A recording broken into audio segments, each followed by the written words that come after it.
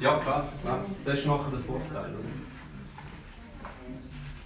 Dass es länger, länger frisch bleibt. Aber das ist eben mit der langen, langen geführt. Oder? Aber das kriegst du auch mit, mit Hefe. Wenig Hefe. Äh, irgendwie einen Hebel machen und einen Tag vorher ansetzt.